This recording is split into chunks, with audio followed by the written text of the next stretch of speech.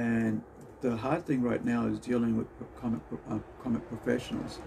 If, uh, if you're on Twitter, you've noticed a lot of them really attacking independent creators like myself, independent creators like, uh, like you know, our guys here on the books like this, um, and other people just outside of the, the mainstream comics like DC and Marvel, and the other big five, you know, uh, calling us pieces of crap, basically calling customers, calling people that pay their wages, pay their income, just horrible, horrible things right now on Twitter.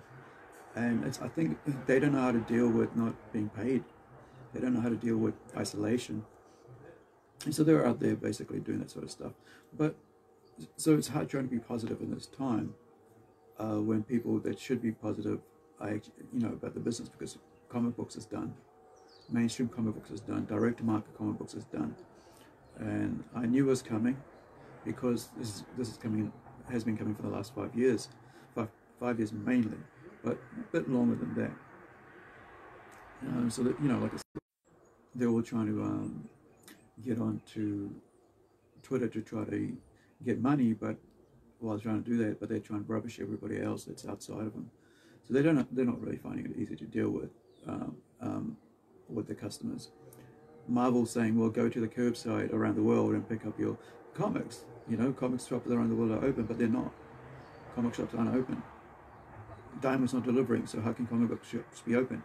This is your message to the comic shop things. Why not say go online and buy digital comics? Why not buy comics and order them and then wait once this is over then you can go get them from your thing so you're not actually holding on to that cash but you're still supporting the creators right now but marvel doesn't want to do that marvel's like get out of your house go and buy comics when there's when you're on lockdown so they don't really understand what the world's going through right now i mean the entire new zealand's locked down right so all the necessities are only open essentials are open everybody else is closed so their message to everybody else is get out of your house uh, that's not going to work when the, the one single company is delivering it.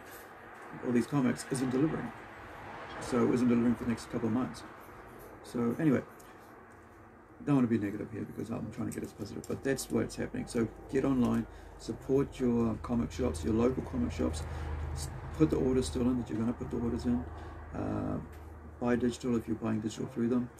Uh, you know, they have codes and stuff go online to our, our store online, right? Um, get our book through uh, Amazon, get, uh, get our books through Kindle and DriveThru. Because, hey, we still got to be come out of this uh, somewhere down the line, right? When we do. And hopefully we come out really well. And we don't want to come in a, a negative, financial negative, where we have to edge close shop, because that's not what we want to do. You know, it's kind of important to just keep supporting who you need to be supporting in the industry.